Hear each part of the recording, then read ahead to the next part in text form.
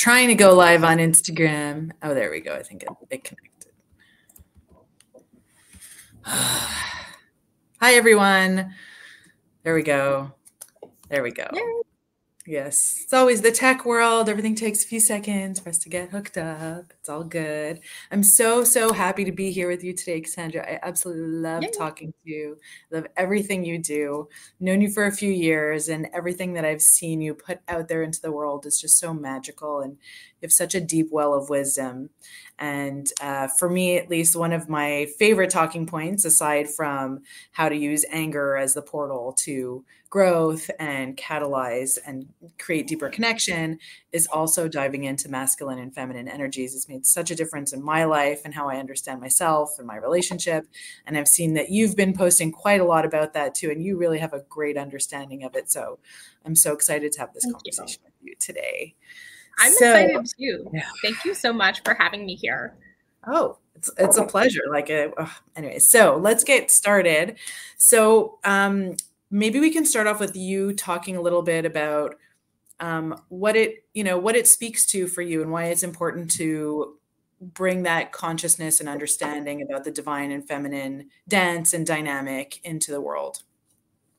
So for me, the reason why it's so important is because one, we're not really taught healthy energetics between masculine and feminine. We're not really taught like how to be in those dynamics, especially in partnership with other people.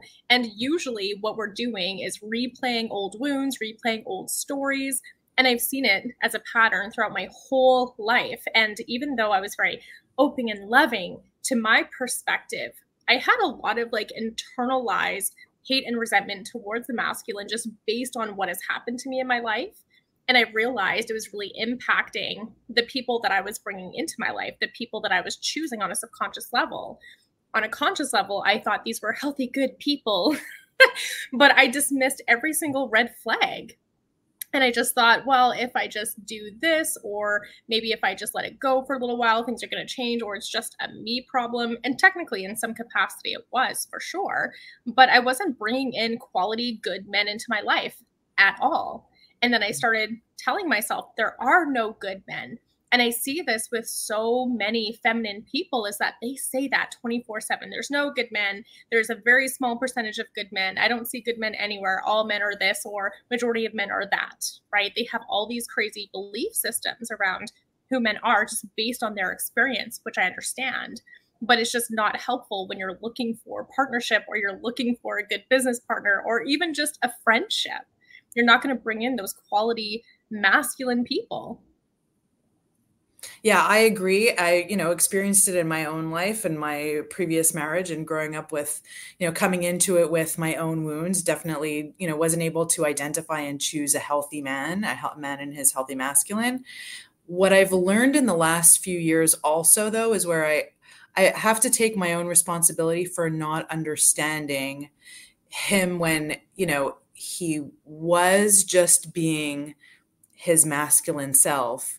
And I think that there's been so much that women have been taught to think about men or to feel that we need to be able to speak exactly the same language that it then becomes misinterpreted or twisted for us to think that oh well they're not good or they're not caring or you know they don't understand us because we're just not understanding how they're responding and then we demonize exactly. them right? Exactly. And then we say there's no good men and none of them are good because we set them with a bar of a feminine bar i think. And yes. you know and that's what's become especially in my you know my new relationship of five year almost five years my husband it's been a journey for me to understand him because he is a good man but I came in with so much baggage and a perspective of, well, if you're doing this, well, then you're bad or you're mean or you're awful and you're you're a jerk. But really not. They just communicate in so in such a different way that it, it really is like a different language. And and it's I feel like it's a responsibility that women have to really step up and learn to differentiate between the real red flags, which there are out there and there's no question, yeah. and simply a man that we're just not understanding right because exactly. we're either wounded feminines we're, we're feminine that have have had by virtue of the you know path of life that's and we've ended up on had to step into our masculine. And so then we try to be the dominant masculine in the relationship. And when you're trying to do that with a masculine man that's not going to work either. Um, and you, no. you know right? And and i just it has been it's been a beautiful journey for me because it's allowed me to learn how to be feminine again and understand my own feminine nature and then understand him without demanding that he respond the way I want him to because that's how I understand things. You know, and and exactly. you know, sadly and I'm I'm not trying to get political here but just in the terms of like the way society has been you know oriented over the last few decades women have been taught a certain way to perceive men um, and and the demands that we make on them and i I've come to really feel like it's just it's not fair. You know, it's really not fair of us to do that to them. Um, so that it's become quite a passion for me to try and you know promote that deeper understanding because when you can and it it doesn't mean disempowering yourself at all actually it's more power no. empowering um, mm-hmm. it, it it will allow those good men out there also to regain faith in good women and allow you know greater connection and deeper relationships to be built and formed. I totally agree. Absolutely. And that's been kind of the problem with the shift and things. And again not wanting to get political but it's like it's going into the extreme feminine side in which they're doing literally the same thing that you know the patriarchy has done and now it's turning into like the feminized version of that which i'm not sure how that's any better to put them in the same position and say well this is what we've had to deal with. That's just not helping. It's going to make things a lot worse and we're going to go through the same cycle but it's just going to be the feminine version and then everything's going to burn down again and repeat repeat repeat. So this think, is why we need to yeah. break that cycle now. I agree and because i think both have ended up sitting in their toxic embodiment right? Like in the toxic version of themselves right? And yes. and and holding on to those wounds and becoming very resentful and vindictive. And resentment is the ultimate poison for any relationship or interaction oh my gosh. So or know, even any organization you know? Like look at these big organizations. The more people like enable that type of toxicity the larger it gets and we turn into a world where we have all this crazy stuff happening like right now absolutely. So so let's turn it into like let's um, create this discussion around the like what how do we see the positive in the masculine? Where do we see the healthy in a masculine man so that we can recognize him as a good man? What what are things so the, that you you would say to look out for?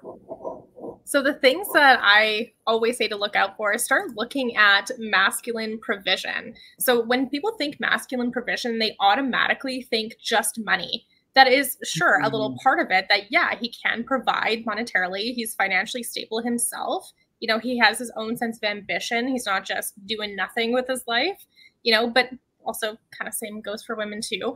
But at the same time there also has to be that sense of reliability in a man. That's a part of masculine provision is reliability and also um, connection like that sense of belonging right? Mm-hmm yeah. sense of belonging is a huge huge one it's almost like that sense of inclusion not just with him but also in his life and yeah. how he sees you in the future right because yeah. if there is no sense of belonging there's going to be no sense of future together you know yeah.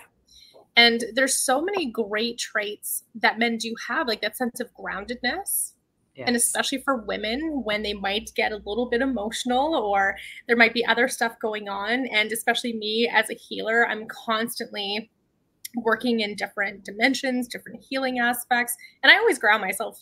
Don't get me wrong, it's not like I ignore the physical embodiment, but I know that when I'm with my partner, I actually feel extremely grounded in his presence. I feel very connected. And the other things to look out for as well is just the fact that they are very present. They're mm. supportive of everything that you do. And it's yeah. not just about being supportive when it's convenient for them or when they're getting something from it. Do you know what I mean? So I've had that happen to me with the wounded masculine where they're supportive until we're not together. And then that's the first thing that they start attacking. Mm. So you know it wasn't genuine. yeah. So you can tell that when they're supportive no matter what, regardless of what's going on, then they're actually in their healthy masculine here. But they're also very protective. And here's a huge feminine wound about protection. They think it's jealousy. They think it's uh, something unhealthy, like your property to them. And I understand some people might act that way. But when a man like really cares, when someone is really in their deep masculine energy, they want to make sure that you're safe and protected at all times. So them checking in on you is not a controlling behavior. It's them making sure that you're okay, that you're safe, that you made it home, that um, nothing bad has happened to you. It's their way of checking in and making sure that you are protected. That's a part of their role. Absolutely. And and and that's also there's that line, right? It's it's the healthy protector versus the man who's the wounded man or or you know the I hate that toxic word, but you know the word where they use it as a mechanism to really lock you down and not give you the freedom because a man in his healthy masculine really just wants you to be happy in whatever you're doing.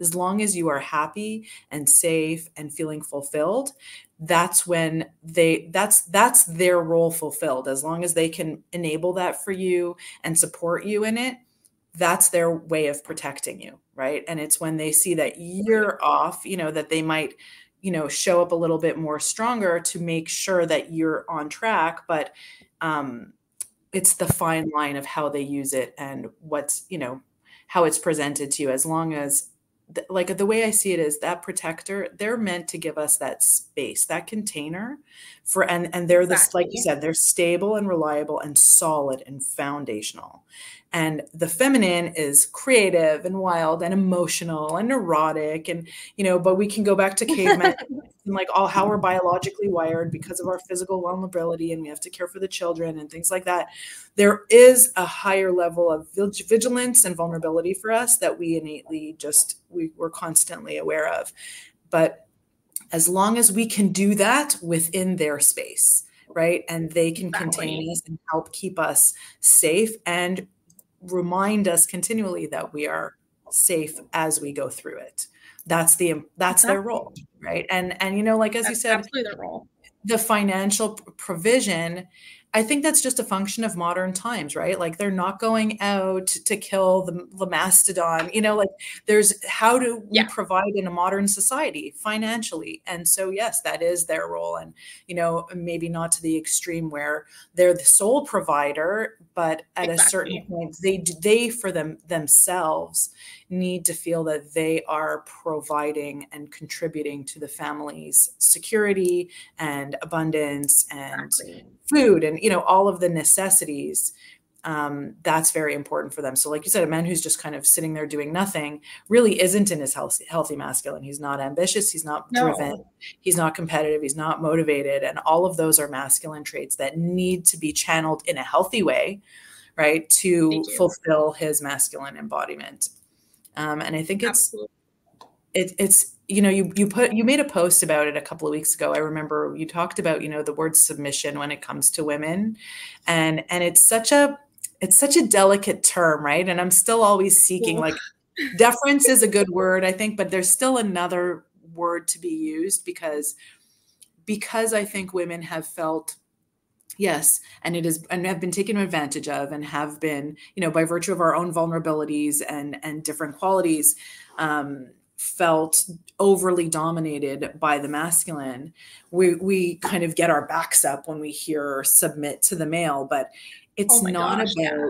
weak you know not a yeah right but it, it's and i but i totally support you because i believe in that. It's not about weak submission and like worship and you know not control. kind of, that it's not that at all. It's really about allowing them to lead.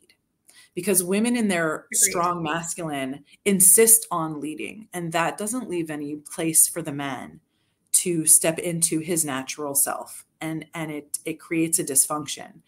We can still lead in our gentle feminine creative ways but if we don't allow them room to lead in their way and give them the faith like they need to know that we have faith in their decisions and their vision and that's how we're supportive to them if we don't give them the space for that they can't fulfill their roles either and so to me that's how i see the submission you know and i, I had to learn that I myself totally agree came into my relationship very heavily in my masculine, but I was a single mother for seven years. I was in a very abusive marriage. Yeah. Right. So like I was used to being the end all and be all and like I'm taking charge. And I had to learn that I can still do the things I want. I can still kind of suggest the ways that I think things should be done. But if I try to meet him head on and we go like, you know, battle ram head to head, I'm completely disempowering him and his leadership. Yeah. And so if I can sit back and allow him the space to lead with me by his side, contributing to his opinions or thoughts or you know bringing in my elements to it but still allow and but still defer to his leadership we create an incredible partnership that way. And frankly if anything it's only allowed my faith in him to grow naturally you know like i really do have faith in he's going to figure it out whatever obstacle there is i know he's going to do it. He can talk to me about it i can make my suggestions but at the end of the day if i try to take charge it doesn't go well for either of us because i'm eliminating him from the equation right? And and i think yeah. that's sense of freedom. Right exactly taking away his independence his freedom of thought you know his his ability to act and the masculine needs to act. Um exactly. and, yeah so it's it's so it's so interesting because I see so many relationships around me, and now that I see it from that you know pris through that prism through that lens, I can't unsee it. I can I can you know go oh that's the dynamic. You didn't let him sit, you know you didn't just sit back or you didn't trust him because that's also part of it. When we're in our masculine, it's because our feminine is too wounded, and so we can't exactly. trust the masculine to act accordingly or you know in the way that would benefit us and so then we try to take charge and we're just wounding each other over and over, I think. Exactly. And it's crazy how many people are actually in a relationship where they don't actually trust each other. So yeah. then they're just ping ponging off each other or these unhealthy dynamics. Like if you don't trust their leadership, if you don't trust their guidance, why are you with them? Number one, like if you don't trust them to lead you into something healthy and good in the highest best interest of you both, then there's an issue. Yeah. Often people don't give that partner the space, which is the issue, but also they'll choose someone who doesn't actually have a similar path or similar goal in mind, which can be really important that you have those type of similar values and that you trust their guidance. That's why the vetting process is so important yes. before you ever just jump into a relationship with anybody. You have to make Absolutely. sure things line up for you and also the other person. But so many people just go like head in and don't take yeah. any of that into consideration. So then the masculine guidance often gets overlooked or criticized or just thrown out the window completely. Yeah. And it's so interesting to see because for me, when it comes to that sense of submission, it's very similar to what you said. I trust him to lead and guide us into the healthiest and most highest timeline for us both he knows what my goals and visions are and he supports them. And he also has goals and visions of his own. And eventually they're going to mix, yeah. right? Eventually they're going to come together and we're going to be doing something else together, which will be amazing. But I trust him in that. I trust him to be responsible for himself, to make sure that he can provide not only for himself, but also his future and also us in the equation, because I'm doing the same thing and very similar path to you where you know being a single mom and having to be in that masculine for so long it's actually quite a breath of fresh air to actually say i trust you and your guidance and to just relax. I don't think i've ever felt this relaxed and not anxious. And that's one thing i overlooked in my past relationship was i was anxious every single day with that person and i couldn't figure out why. I thought it was a me problem technically it was because I was just not in the right relationship and I was just looking at the potential and just ignoring everything that was happening, mm. even though hmm. none of it really lined up for me at any point. Oh, that was a whole thing I had to process all on my own was that I was trying to fit like a square peg in a round hole for far too long. Mm. And once this man came into the picture, I was like, oh, this is what healthy submission is you know like i have all the trust in the world he wants the best for me and us and i don't really have to think twice it's so liberating actually it takes such a burden off our shoulders and it makes me really yeah. think about how like how hard it is for men to be men uh, you know, especially, you know, even harder when we're berating and criticizing and picking and, and pushing them out of their roles. But just in general, the the responsibilities and roles that they strive to fulfill are very difficult, especially in today's world. So, you know, I appreciate that being taken off my shoulders. It has not been fun being Same. in the masculine.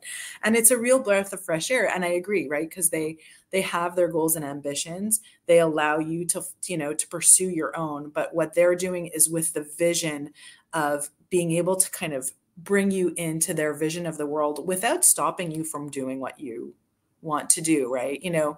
And exactly. like i know in the beginning with my relationship it was very like why don't you call me during the day? And what are we doing? Like i was very very microscopically fixated on frequency of communication and when are you going to be around and all of those things. And when i started mm. to learn how i needed to lean into letting him do and trusting what he's doing for himself, for his business, for his life, while still keeping me a part of it. It was that liberating feeling of like, oh, like I can just be me for the day.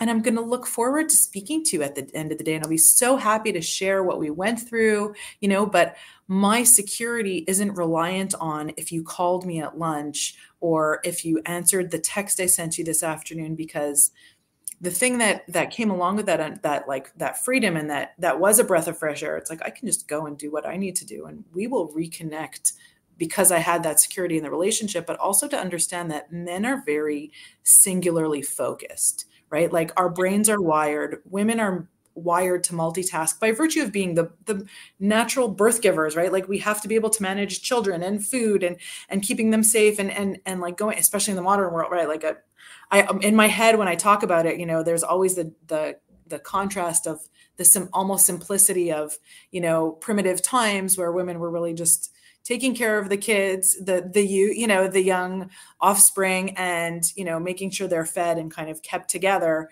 Whereas today's world we're taking them to ballet or to football or school and then we're doing doctor's appointments and all of the things that we really meticulously have to manage our brains are much better wired for that kind of multitasking but men's brains are wired for singular task focus. And so when we try to intrude on it sometimes, and I know some women are like that, I used to be like that too, where it's the constant contact throughout the day, um, questioning, uh, checking in. It's it's a distraction for them, and it's an almost an added burden because they need to maintain their focus because they have their goals in mind and it's all for our benefit. And if we try to pull them out of it and then berate them for not living up to our expectations, we're diverting their energy.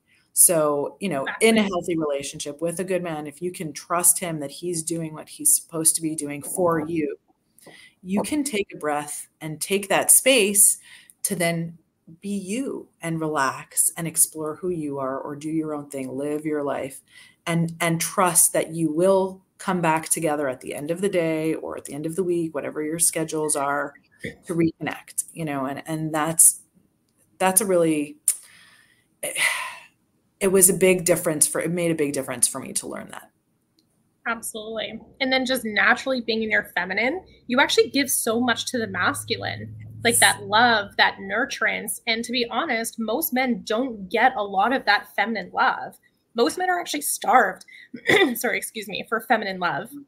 A lot of them may not have had good relationships with their mother or other females in their life or other women, right? So then they come into it as well and they have things that they have to be open to. So the more relaxed you are with a good man, the more you naturally want to give him that love and nurture and create peace in his life. If you're really in your feminine, you can give that masculine so much peace and you won't even have to ask twice for a damn thing. you won't have to beg, you won't have to chase. They naturally want to spend time with you. They naturally want to give.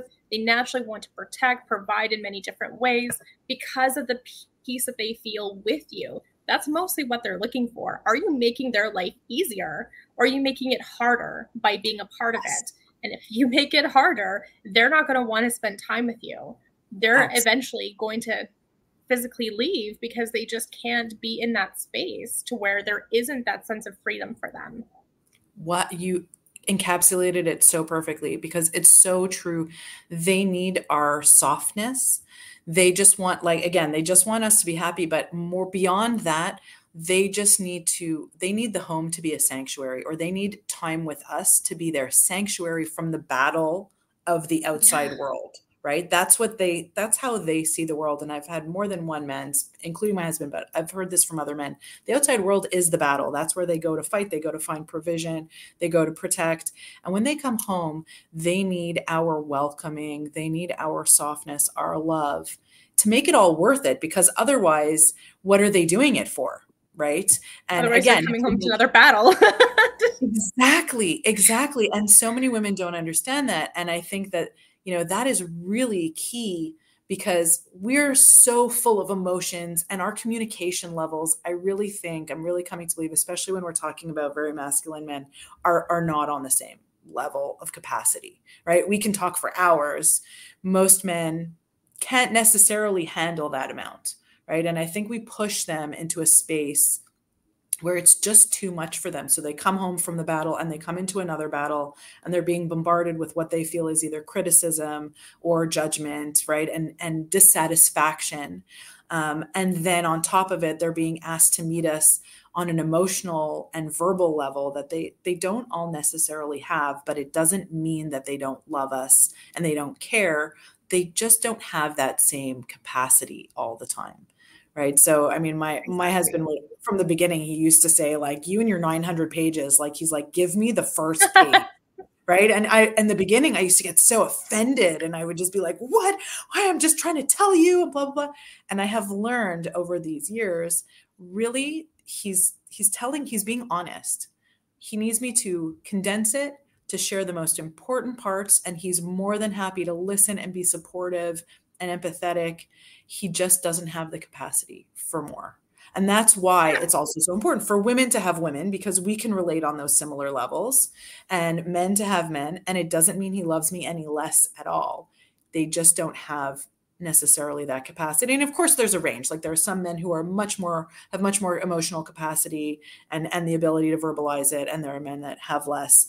But we judge them on that surface like at the face value of it when we really need to be looking deeper and understand how they feel about us isn't a direct yeah. like reflection of like how they communicate with us. You know what i mean right? Like exactly. to, to discount how they feel because they're not able to meet us on the same level of communication. Exactly. They're not as emotional as we are that's why they're so much more clear and direct. If you've ever watched any podcast with healthy men, oh my God, it's my favorite. Cause I'm like, oh, just give me the information. It's so direct and so clear yeah. and just so crisp. And there's no extra fluff at all. It's just like direct to the point and boom, straight into the heart, which is what I love so much about healthy masculine energy, right? Yeah. And when you start to think about that too, whatever they are telling you, whatever corrections they are giving you, it is a gift Yes. And that is when, as a healthy feminine, you have to really hear what they're actually saying instead of going into reactivity.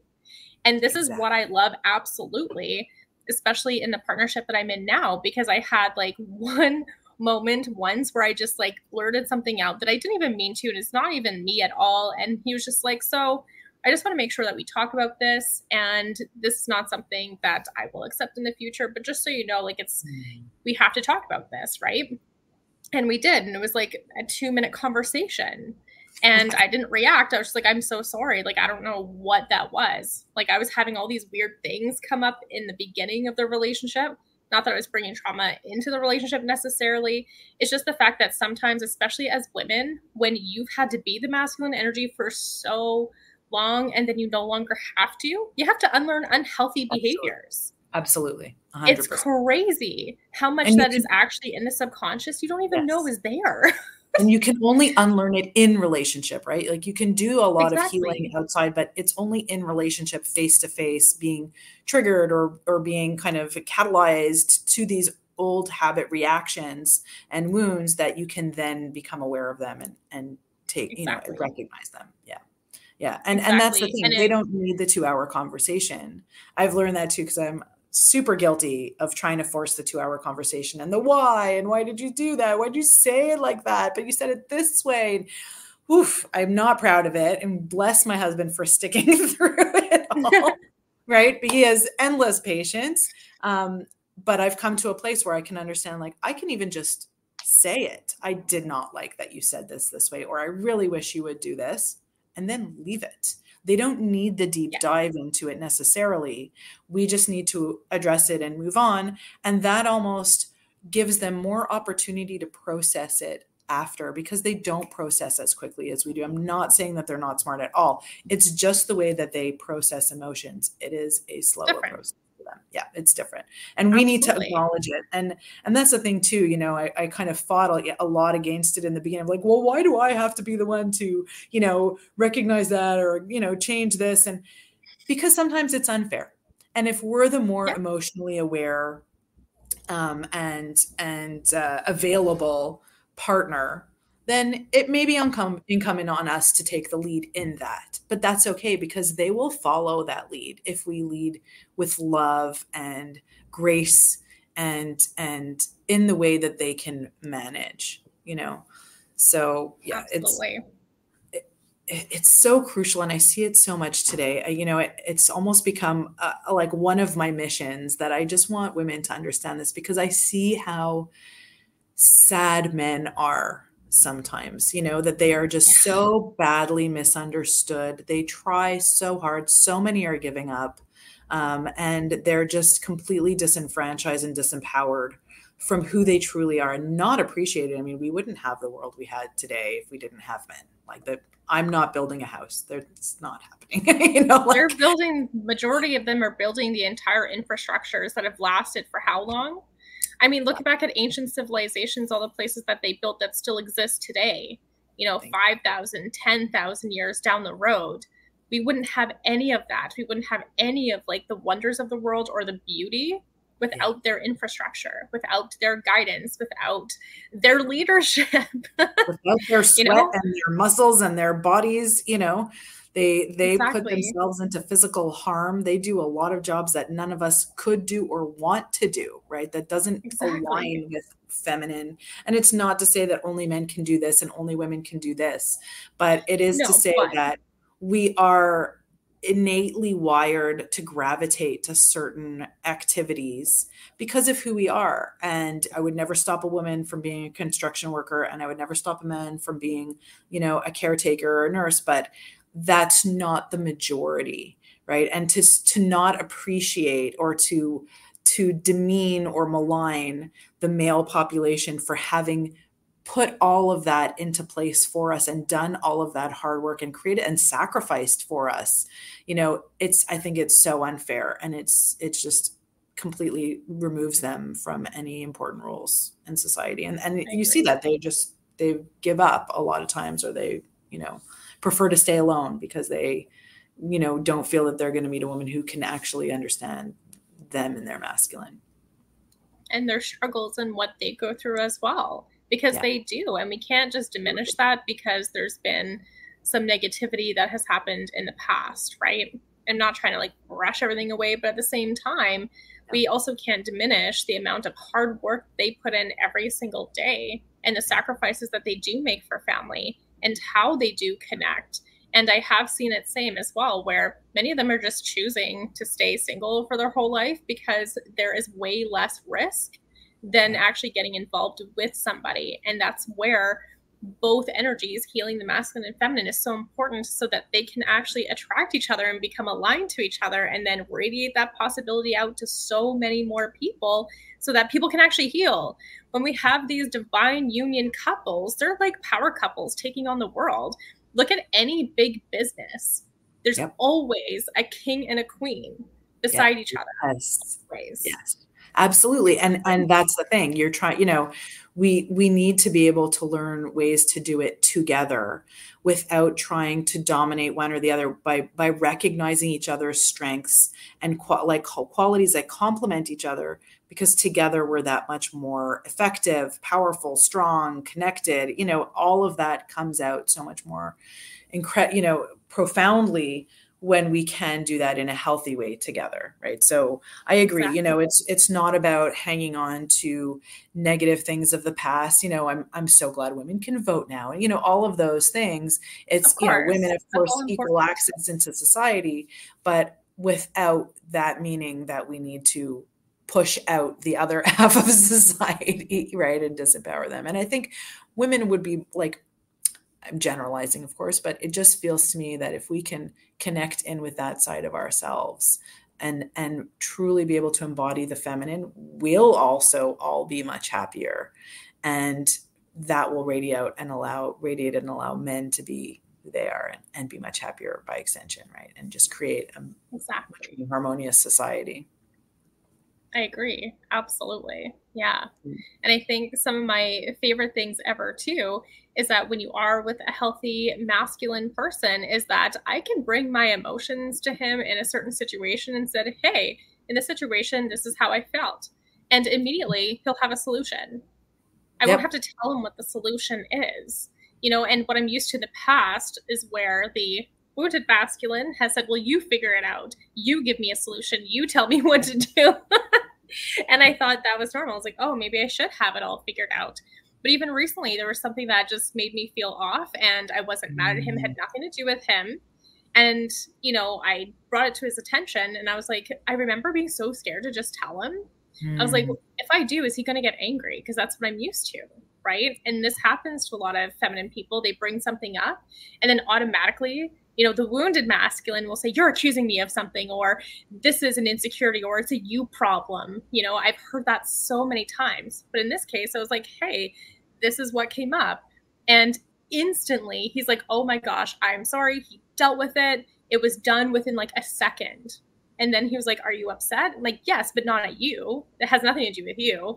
It just had to work through my emotional wave but that was the fastest I've ever gone through an emotional wave. And I'm an emotional three five manifestor in human design. So sometimes they can last like weeks. but it lasted all of maybe five ten minutes.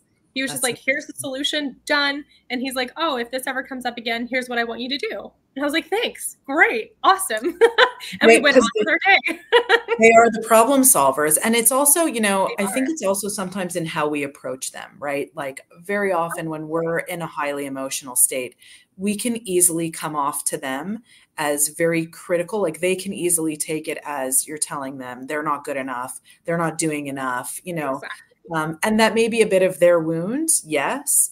But totally. as you know, there's we can take the lead on that and modulate how we present it to them so that they can actually hear it and say, I really need to tell you something right now. This is how I've been feeling. It's not an attack on you. I want you to understand that. I just, you know, like preface things sometimes so that they don't take our like blah, blah, emotions, which we tend to go into, as a complete attack or a punch in the stomach, because it's very easy for them to go in that direction sometimes our exactly. you know our self-containment and our ability to present things gracefully and neutrally in a way of like just you know very clearly understand that this is how i'm feeling. Like you said it's not to do with you but this is what's going on for me and i'm coming to you because i either need the solution or i just need you to hear me today. Just listen and don't even come up with the solution. Just be there.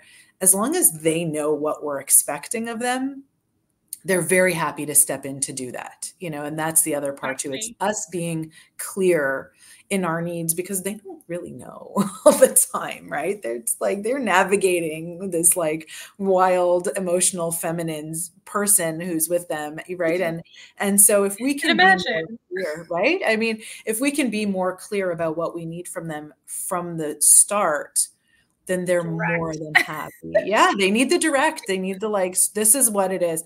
I mean, and I find the more like the more hyper masculine tends to need that too. They really just need the like. This is it. I'm not putting any expectations on you. This is how I'm feeling, or whatever your situation is that you want to share with them. They're more than happy to step in to fulfill that as long as like the terms are clear.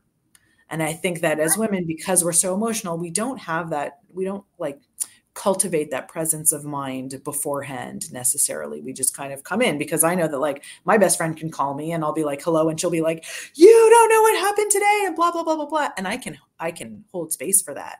But totally. you know try to do that with uh, men and it doesn't always go that well because then they're just kind of like I don't know what you want from me or like freaking out and you know there's too much emotional space there's too much too many emotions here for me to even have the capacity to process so, you know, and again, I'm talking in generalizations, and you know, some men are better at it than others, of course. But um, there's so many nuances to it, to honestly. Sorry. So there's so many nuances to it. It's of not course. just like and it's you know, it's all, but to each relationship, you know. But I, that's at least speaking from my own experience and observations you want to orient it so it is going to be more receptive it's going to be better received and not misunderstood or brushed away or like oh, you're too emotional. Oh i don't even understand what you're doing you know where they can feel safe. And and that oh that was the other point that i was wanting to bring it to when you were also talking about that is by doing all of that we create safety for them. We create emotional safety for them. And that's what's important. Like they create the physical safety and we need to create emotional safety by not being harsh in our masculine by not being on the attack all the time or critical when we give them emotional safety and like you said the love that a lot of men are so desperate for the feminine softness and love when we can do that for them that's when they can really step up and serve our and like you know fulfill our needs. And that's when the kind of the partnership can really work well Absolutely. And masculine energy is very healing energy as well. And yeah. I find it interesting because through my observations and the people I've worked with for like over 12 years now, most people don't even realize natural, healthy masculine energy is healing. you know, it just yeah. blows my mind because it is. And I remember even just recently, I was talking about something and he just asked me a couple direct questions. And immediately I was starting to get emotional, not at him, but I started feeling mm-hmm. emotional. He's like, oh, this is like a obviously a pain point of yours. And we he started talking about mm-hmm. other things that he was seeing, and he was just able to bring up literally everything that was going on in my system that I had no idea. It just started with mm. him pinpointing a fear that I had, and then it just stemmed from there. And I was like, whoa, I've never had a masculine person be able to do this with me ever. I've never had them highlight what I'm holding on to from the past and to be able to see it and get me to recognize it and actually hold me so I could release it was insane. And when men are in their healthy energies, sure, yes. every masculine energy is a bit different, but this is natural to them. They can yeah. also see their sight is so on point, and we have to trust their sight. Absolutely, we have because they they're they're really able to like pinpoint and see it from a different perspective entirely right almost like a macro exactly. because they have the macro vision we're the like micro details and they're the big big picture um, they can kind of see it all how it all ties in together and bring it up and hold the space for us and you know he sounds like he's incredibly emotionally in tune which is really beautiful for men um, to be able to not only just see it, but also present it to you in a way that doesn't dig at the wound, right? Like without yeah. it being, you know, in a nasty way. I mean, or or too no, harsh of a way. I don't mean nasty, but well, it ends up being uncomfortable. But, but like they yeah, can, sure. you know, even the masculine can sometimes be harsh because they're so direct, and so to us, it feels like oh that was mean or oh I didn't, you know. But it's really just them no. being direct and trying to point it out to us and that's why i mean we really need to understand their language so that we exactly. don't paint them with such a negative brush right and to just understand it's that cool. is their way but there's no malice behind it Exactly. They just want the best for you. And if I wasn't in a healthy feminine energy, I probably would have looked at him and said, Oh, I've already healed that. That's not the problem. Nope, that's not it at all. you know, I would have completely brushed him off and his sight and his guidance. And then what would have happened? Nothing. I wouldn't have released anything. I wouldn't oh, have had that level of trust with him. He would have yep. felt completely dismissed and almost discarded. Do you know what yep. I mean? Absolutely. But the and fact then, that I was able to hold that, and even though it was uncomfortable, and I was like, oh my God, this is weird because I've never had this, but the way that he is, I'm still able to stay soft in the discomfort and just mm. let him guide me. That is what submission is. So before people come at me. well, and it's it's hard. It's hard to be faced with things about yourself, right? And and and it takes a lot of courage to sit and go and to even consider it and go, "Oh, I didn't realize that." Yeah. Oh, you know, and right. and take that as a reflection. It's not a criticism. It's uh, help in the way that they know how to do it. Right? That's their their way. I love this conversation with you so much. We're almost at an hour, and I think Instagram ah. shuts me down after an hour. I don't. It like flew. We have to do this again. I would love if we could do yes, this again. Me too. Okay, amazing. We'll continue the divine masculine and feminine. Maybe we'll maybe next time we'll focus more on the feminine and really what the healthy feminine yeah. is, um, and how we need to express. Um, that would be amazing. So thank you so much, Cassandra. This has been a beautiful conversation. Thank you so much, Talya. Oh, it's a pleasure. So really, I love your energy. Such, Such a joy. Always. Likewise. Yeah. Oh, thank, thank you, you so much. Amazing. All right. Thank you. Have a good day, everybody. Thank you, everybody. ending